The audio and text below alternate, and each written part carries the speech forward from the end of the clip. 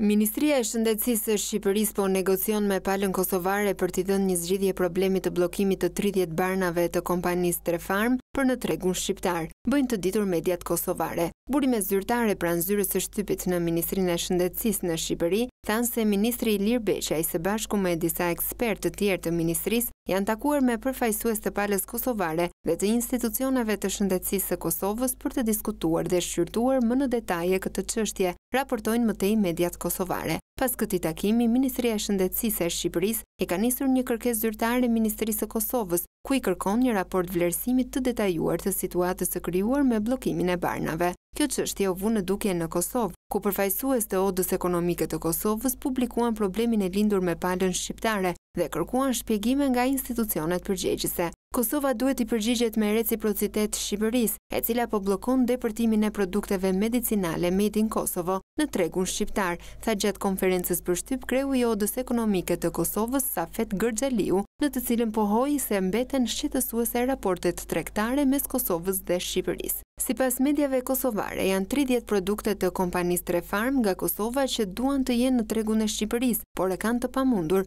pa patur një shpjegim konkret. Ndërkohë, në Kosovë janë gjashtëdhjetë e pesë produkte të Shqipërisë të cilat janë të akredituara dhe licencuara në tregun e Kosovës, ndërsa depërtimi i produkteve kosovare po bëhet i pamundur në tregun shqiptar. Nga ana tjetër Oda Ekonomike e Kosovës bën të ditur se në tregun e Shqipërisë janë të licencuara dhe kanë të drejtën e kalimit të produkteve të tyre tre kompani nga Serbia, dy kompani nga Maqedonia dhe dy kompani nga Bosnjë-Hercegovina, ndaj dhe nuk ka arsye pse të mos lejohen produktet Made in Kosovo, në këtë rast medicinale, përfundojnë mediat kosovare.